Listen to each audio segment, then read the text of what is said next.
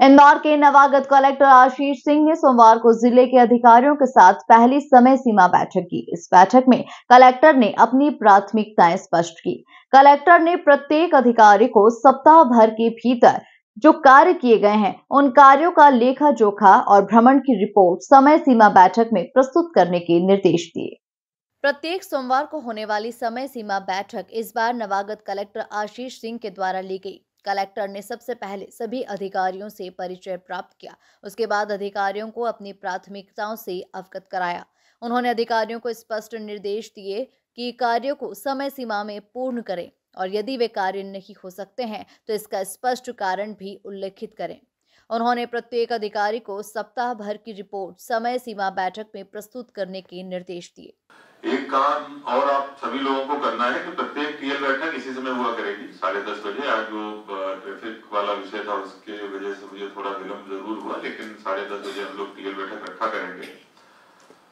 प्रत्येक टीएल बैठक में हम लोग कुछ न कुछ विभागों की प्रेजेंटेशन रखेंगे।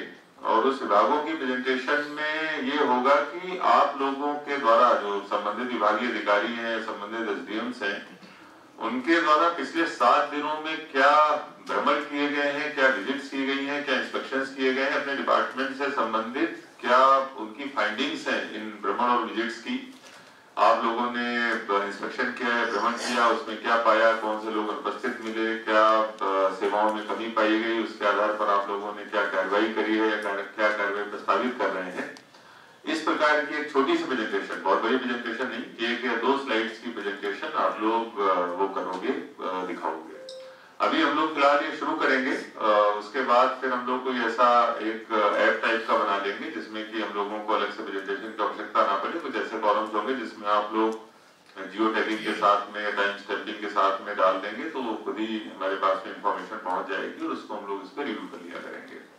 लेकिन जब तक ये व्यवस्था होती है, तब तक के लिए प्रेजेंटेशन के माध्यम से हम लोग करेंगे। कोई भी विभाग हो, अगर कोई निर्माण एजेंसी है तो उसके अपने इंस्ट्रक्शन होने चाहिए कि आपके इतने काम चल रहे हैं उनमें से गुणवत्ता नियंत्रण के लिए आपने और आपके अधीनस्थों के द्वारा भी इतने इंस्ट्रक्शन किए गए। जनरली जो हम लोग चीज़ें देखते हैं कि हम लोग इंस्ट्रक्शन पे जाते हैं क्वालिटी खराब मिलती है टीचर्स अनुपस्थित मिलते हैं, आंगनबाड़ी कार्यकर्ताएँ अनुपस्थित मिलती हैं हॉस्टल में व्यवस्थाएँ ठीक नहीं पाई जाती हैं तो उसका कारण यही है कि हमारा जो मॉनिटरिंग वाला अमला है, वो अपना काम, अपना जो ज़िम्मेदारी है वो, उसका निर्वहन उचित ढंग से नहीं करता है। कलेक्टर ने अधिकारियों को निर्देश दिए कि आम नागरिक से सीधा संवाद रखें। उनकी समस्याओं को संवेदनशीलता के साथ समझकर यथासंभव निराकरण करें। कलेक्टर ने ये भी हिदायत दी है कि आपके स्तर पर ही निराकरण सुनिश्चित करें। मुझ तक आवेदक के आने की नौबत न आए।